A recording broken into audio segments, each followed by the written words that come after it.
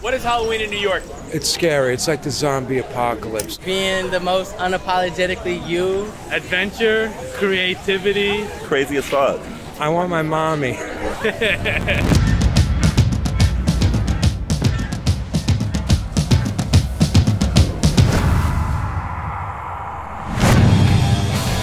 After the pandemic, Halloween is back with a vengeance.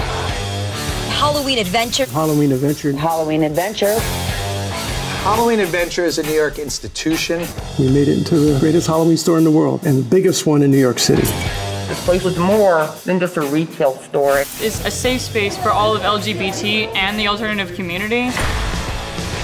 My staff, they're punk, they're comedians, they're artists. I love people that are pierced, tattooed. If they had one leg, that seemed great. They're a pirate.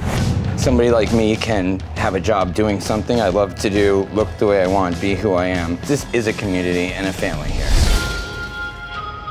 Tony, who founded the store, retired. The new corporate owners closed the Halloween store. I had this idea to reopen the store and bring everybody back for one last Halloween. Like many small businesses in New York, they are shutting their doors after this grand finale Halloween season. You worried the store might not survive? This is our final year, the big last hurrah. I walked through the building once again, overcame with emotion. I was thankful that we had another chance. The store is back to life. Everyone's ready to unleash and party like rock stars. Well, Village Halloween Parade is officially coming back. People are ready to go crazy again. They're coming out of the subways. There's an excitement in the air. It just gets to a fever pitch. There is a lot of activity on the street, but a lot of stores and a lot of venues have closed down. It might be up to us to shake Yeah. it up. Ladies and gentlemen, do not open any of the packages. Anybody else need any help today? Keep it moving through this walkway. Welcome to the madness. I was trying really hard, all my heart and soul, to keep the store going, but I knew it was only temporary. Feels like when you're graduating high school and everybody's going in different directions.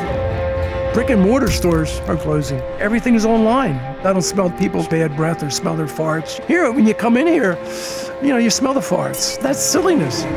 How do we keep entire neighborhoods from becoming boring? How do we keep life on the streets happening? Halloween celebrations are back and better than ever. Costumes flying off the shelves. The store would have not opened without Stitch. If it is the last Halloween, then we're gonna go out with a bang. It's time to get back out in the street, celebrate New York's diversity, and party like it's 2019.